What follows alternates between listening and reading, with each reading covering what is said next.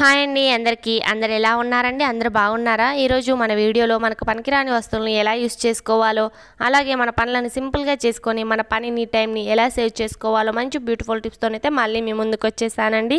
వీడియోని ఎండింగ్ వరకు చూడండి. చాలా యూస్ఫుల్గా ఉంటాయండి. ఇక ఫస్ట్ టిప్ వచ్చేసి ఇటువంటి బాక్సులు మనం ఎప్పుడైనా ఆన్లైన్లో ఆర్డర్ చేసేటప్పుడు కానీ బిర్యానీ ఇలా తెప్పించుకున్నప్పుడు చూడండి బిర్యానీ తినేసిన తర్వాత ఈ బాక్సులను అయితే వేటికి పనికిరావని పడేస్తూ ఉంటాం కదండి.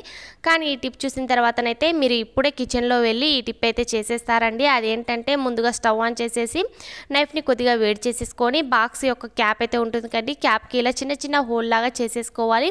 ఇలా చేసిన తర్వాత మన కిచెన్లోన స్పూన్స్ అయితే ఎక్కువగా ఉంటాయి కదండి.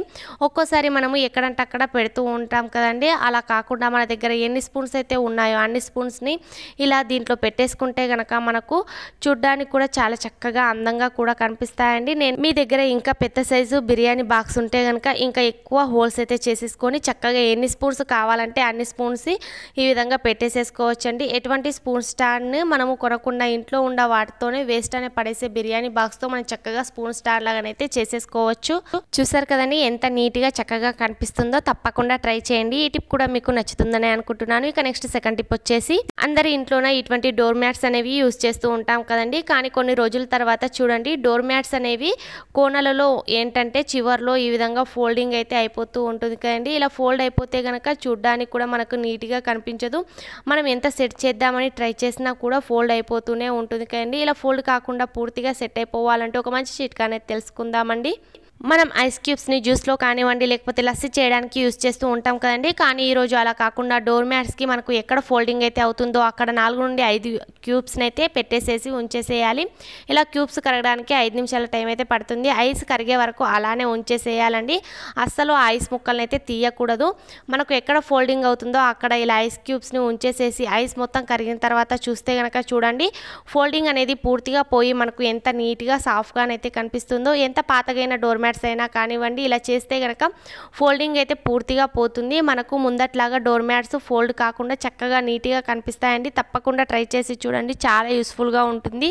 నెక్స్ట్ థర్డ్ టిప్ వచ్చేసి మనం కిచెన్లోన వంట చేయడానికి ఆనియన్స్ని అయితే యూజ్ చేస్తూ ఉంటాం కదండి.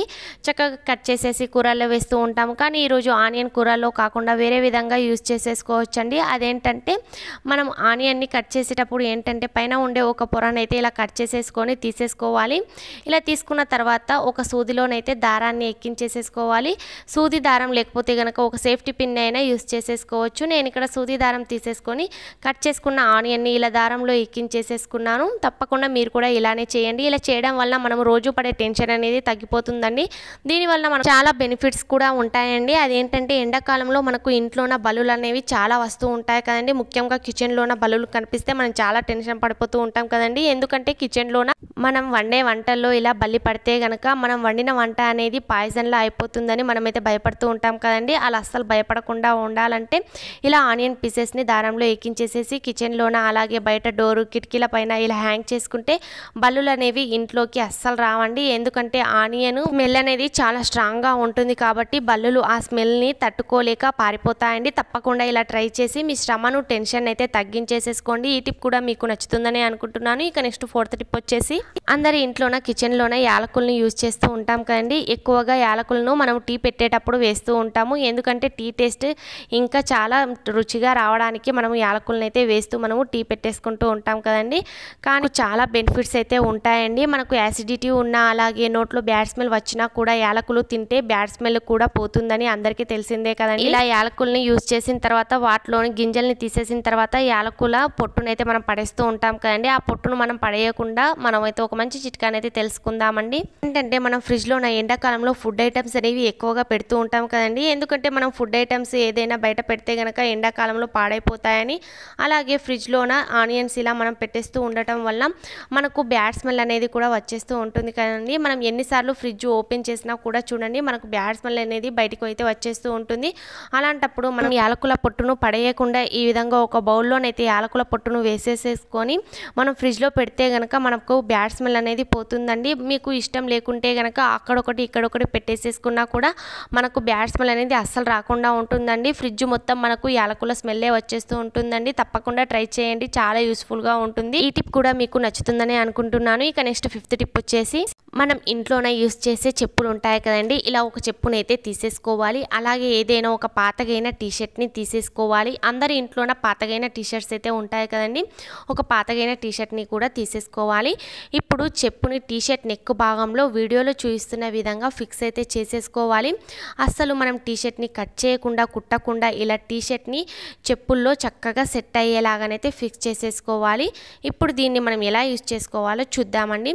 మనం ప్రతిరోజు ఇంట్లో ఉన్న ఇల్లు ఊడ్చిన తర్వాత తడిగుడ్డ పెడుతూ ఉంటాం కదండి. ఒక్కోసారి ఏంటంటే మనము వంగి తడిగుడ్డ పెట్టాలంటే మనకు నడుములో నొప్పి అలాగే మోకాల్లో నొప్పి అనేది వచ్చేస్తూ ఉంటుంది కదండి. అలాగే ఏదైనా సమస్య ఉన్న ఏ ప్రాబ్లం ఉన్నా కూడా మనము ఈ తడిగుడ్డ పెట్టకుండా ఉండాలంటే నడుము నొప్పి రాకుండా ఉండాలన్నా ఇలా మనం ప్రిపేర్ చేసుకున్న టీషర్ట్ చెప్పులో కాలు వేసేసి హాయిగానైతే తుడిచేసేసుకోవచ్చండి. చూడండి ఎంత జిడ్డుగా ఉన్న టైల్స్ కూడా మనం చక్కగా క్లీన్ చేసేసుకోవచ్చు. ఒక్కోసారి చూడండి చిన్నపిల్లలు ఉండే ఇంట్లోన వాటర్ కానీ జ్యూసెస్ కానీ ఇలా పడేస్తూ ఉంటారు. జిడ్డు జిడ్డుగా అయిపోతూ ఉంటుంది కానీ అలాంటప్పుడు కూడా మనం చక్కగా క్లీన్గానైతే చేసేసుకోవచ్చు. పెద్దవాళ్ళు ఉంటే కనుక వాళ్ళకు ఇది చాలా చక్కగానైతే ఉపయోగపడుతుందండి. ఎందుకంటే పెద్దవాళ్ళు వంగి తుడవాలంటే వాళ్ళకు నడుము నొప్పి భుజాల నొప్పి అలాగే మోకాల నొప్పి అయితే వచ్చేస్తూ ఉంటాయి కదండి. అలాంటప్పుడు ఇలా ట్రై చేసి ఇలా ట్రై చేసి చూడండి. ఇలా చిన్న చిన్న టిప్స్తో మనం చక్కగా టీషర్ట్ కట్ చేయకుండా కుట్టకుండా చక్కగానైతే రెడీ చేసేసుకోవచ్చు. అలాగే మనం వాష్ చేయాలి అనుకున్నప్పుడు చక్కగా టీషర్ట్లో నుండి చెప్పునైతే తీసేసి మనం టీషర్ట్ని వాష్ చేసి ఎండబెట్టిన తర్వాత ఇంకా మనం చక్కగా ఇలానే రెడీ చేసేసుకొని తడిగుడ్డ పెట్టేసేసుకోవచ్చండి. తప్పకుండా ట్రై చేయండి. ఇల్లు తుడవడము ఊడవటం అనేది మనకు తగ్గుతుందండి. చాలా మందికి తడిగుడ్డ పెట్టాలంటే చాలా ఇబ్బంది పడుతూ ఉంటారు కదండి. అలాంటప్పుడు ఇలా ట్రై చేసి చూడండి. ఈ టిప్ కూడా మీకు నచ్చుతుందని అనుకుంటున్నాను. ఈ టిప్స్ నచ్చితే కనుక లైక్ చేయండి. ఇటువంటి యూస్ఫుల్ కిచెన్ టిప్స్ని మీ ఫ్రెండ్స్ అండ్ ఫ్యామిలీ మెంబర్స్కి షేర్ చేయండి. ఇంకా మీలో ఎవరైనా మన ఛానల్ సబ్స్క్రైబ్ చేసుకోకపోతే ప్లీజ్ సబ్స్క్రైబ్ చేసుకోండి. అలాగే ఈ టిప్స్లో ఏ టిప్ అయితే బాగా నచ్చింది కామెంట్ బాక్స్లో కామెంట్ చేయండి. మళ్ళీ ఇటువంటి బ్యూటిఫుల్ కిచెన్ టిప్స్తోనైతే మళ్ళీ మీ ముందుకు వచ్చేస్తానండి అంతవరకు సెలవు. Thank you for watching bye bye take